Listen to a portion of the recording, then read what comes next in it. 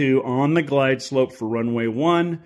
Controller says, hey, can you do runway 33 um, because they want to get another airplane out beforehand. So this will give a little more time to the controllers to get an airplane off of runway one. 5342 transitions. Now 33 is over here, so now we're turning over here to the right.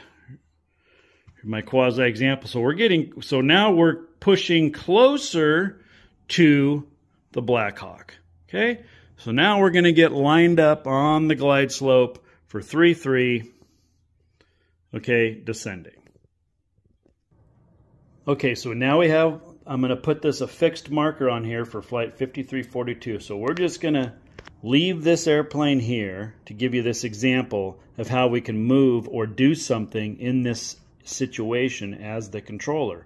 So this is all about understanding where all these airplanes are and there were four other controllers in there. So how are you utilizing those controllers? That's a part of best practice. The whole everything, the whole environment inside there is a part of best practice. How you use it. How are we using these tools? I know I'm being redundant, but this is critical. Now you remember earlier we talked about performance. What a controller needs to understand baseline performance of these aircraft, any aircraft they're going to control. You go to school, forever. I mean, it takes two or three years, even when you go to eight, you know, to, to Oklahoma City and then go to the facility. We used to go to the to the uh, en route air traffic control center in Seattle all the time.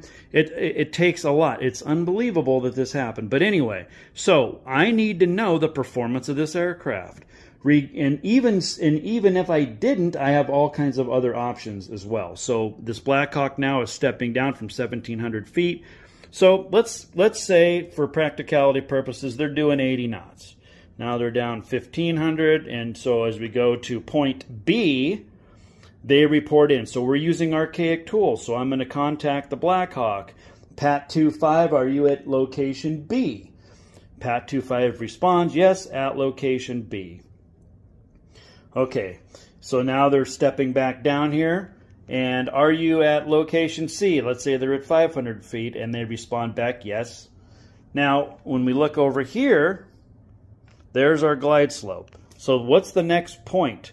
Before the Blackhawk is going to turn inbound in this scenario, it's going to be point D. Okay? And at D, we want them, let's say, to be at 200 feet. Right? But let's say that the closure so now they're coming to D, okay? Now here's going to be our position. This would be where the position of impact is. But let's say that right now, our Blackhawk is somewhere between